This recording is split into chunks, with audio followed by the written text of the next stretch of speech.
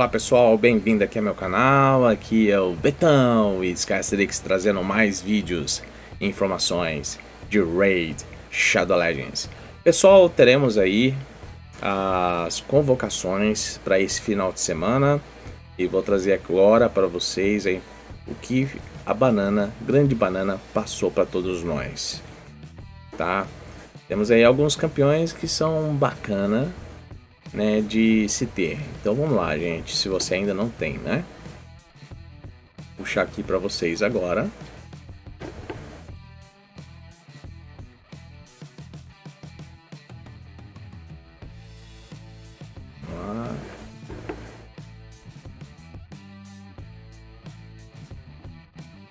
E aí está.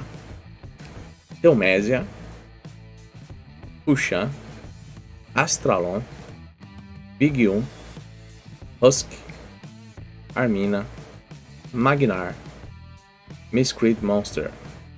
Esses são os campeões que estão na pauta para as convocações, as 10 vezes chances que vamos ter aí para o final de semana, tá? Dia 17 de junho. Tá? Então a gente vai poder ter campeões aí, dentre os campeões que são do vazio, assim como para as outras afinidades, né? Como o caso aí do dos campeões de magia espiritual e de força, né? Então eu vou puxar aqui para vocês, gente. A grande Teomésia. Vamos aqui no índice. Teomésia, homens lagartos. Não. É skinwalkers, né? É esse garotinho aqui. O Messi é, é um campeão aí que ele tem um queima-vida legal, certo? Eu acho um campeão interessante. Eu espero ter esse campeão ainda em breve, né? Grande Teomésia na pauta, né? Campeão de ataque. Então esse é o primeiro campeão da parada. O próximo campeão eu já tenho ele, né, o próximo campeão aqui é o Fushan. Né, a gente vai nos Homens Lagartos agora. E o Fushan eu tenho ele. Né, o campeão no qual eu vou sim montar né, esse campeão para ver como que vai ser o desempenho dele. É né, um campeão que também pode ser utilizado aí em termos de batalha de chefe de clã. Né, grande, grande Fushan. Beleza. Próximo campeão na parada é o Astralon. Astralon não, eu não quero ter nem nem eu quero ver ele nem pintado de ouro, mano. Grande Astralon. Né, campeão logo aqui da Ordem Sagrada, né? O Astralon eu tenho já dois dele, mano. Não preciso ter mais. Tá? Ótimo campeão também, na minha opinião. Acho um campeão fantástico, mas ele não bata mais na minha porta de momento né? Grande Astalon, esse garotão aí. Continuando, o último campeão lendário é o Grande 1. Tá? Então a gente vai lá nas tribos Ogrin. Né? Esse eu gostaria de ter. É, dá duas pancadas, campeão legal de arena. Então, grande 1 é esse cara aí. Certo? Grande um. Agora vindo os campeões épicos, gente. Tá? Dentro dos campeões épicos, vamos começar pela Armina. Vamos lá. Saindo aqui, vamos lá para os bárbaros.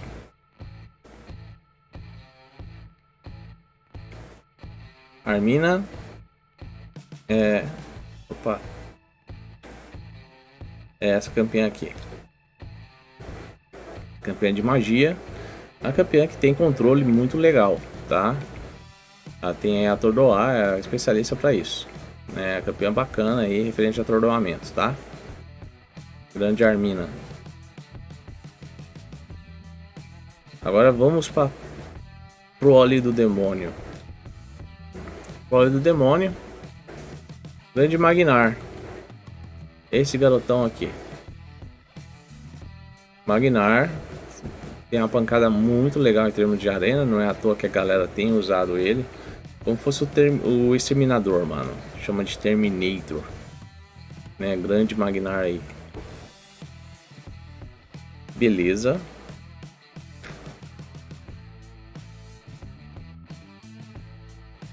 Agora o próximo campeão. Esse, esse é famoso, né? Esse é famoso. A gente vai lá nos Cavaleiros Fantasmas e o Monstro de Swarm.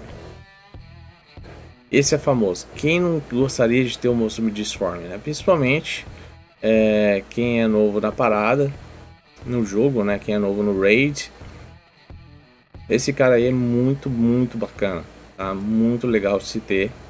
Né? Ele traz uma performance bacana, né? Dentre os campeões que foram lançados aí há dois anos atrás, praticamente. Né? Compensa muito ter o grande monstro de Swarm. Né? E a performance dele é muito bacana, gente. Eu gosto muito, né? Questão do escudo, é, ele tem controle. São campeões de controle, né? Sendo franco, né? Praticamente todos esses campeões estão na pauta aí são sim campeões de controle, tá?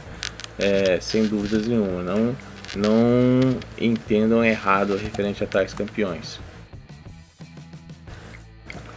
E temos agora mais outro campeão.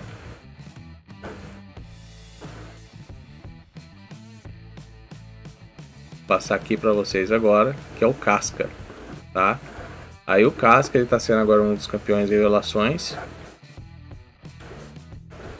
Vamos sair daqui. Vindo aqui nos mortos-vivos. O Casca é esse garotão aqui, ó. Tá?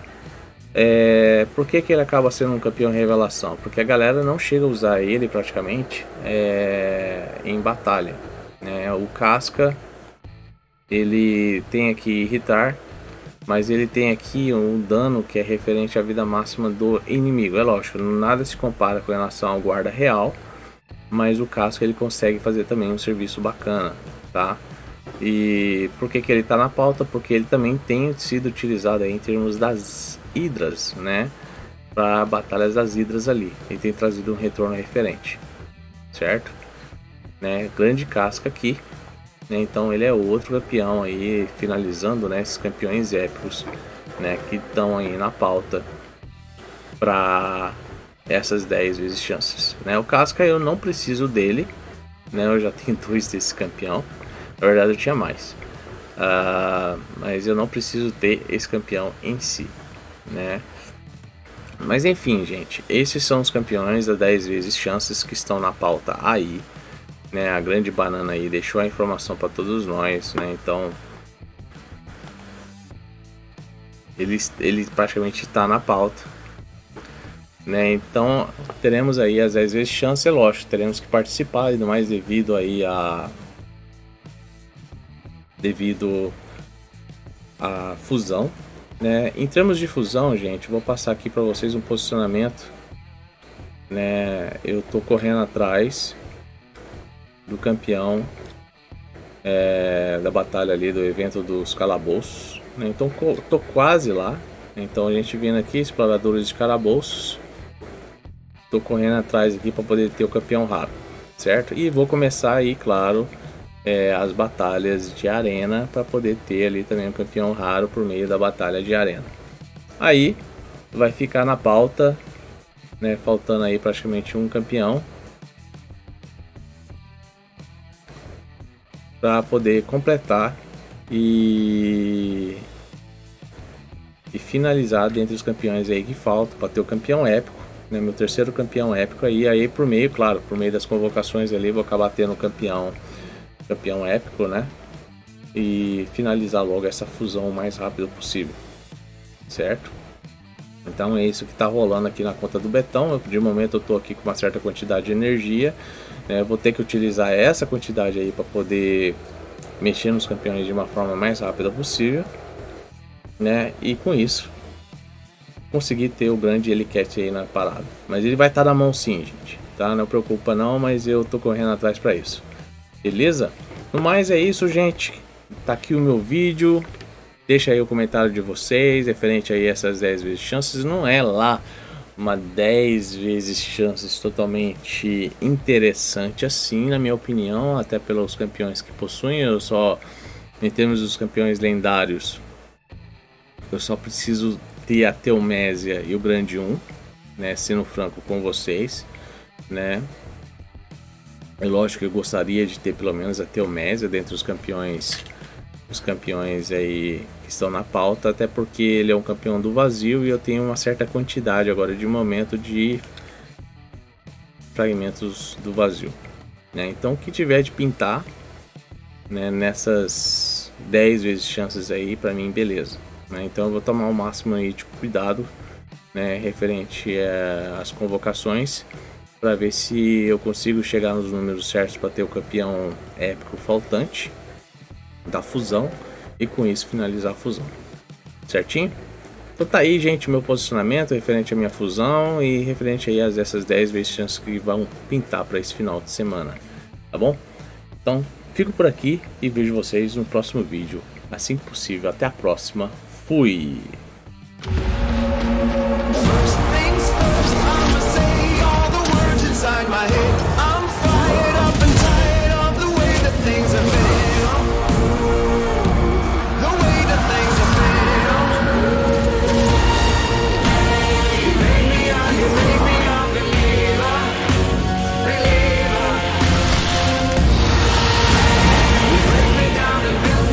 Are you a believer? Raid Shadow Legends. Play for free.